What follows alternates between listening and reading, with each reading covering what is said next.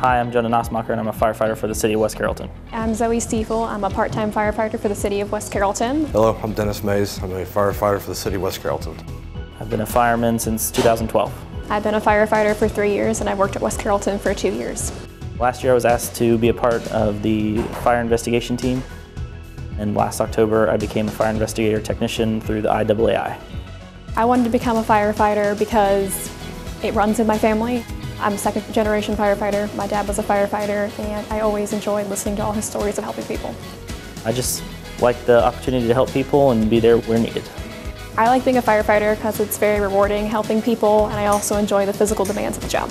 I chose to become a firefighter to give back to the community that I grew up in.